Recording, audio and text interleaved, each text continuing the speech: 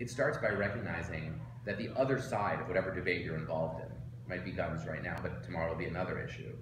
Um, also have the well-being of the community in mind. You don't agree on how to get there, and that's why there's grounds for disagreement. But you do agree on the well-being of the community, and what's more, you're all invested in the community because you all live here, and you're not going anywhere.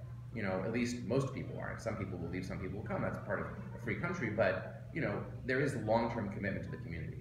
And so, if you work well with somebody today, you're going to work well with them tomorrow. And if you get into a brutal fight with them now, you're not going to be able to compromise next time on some other issue.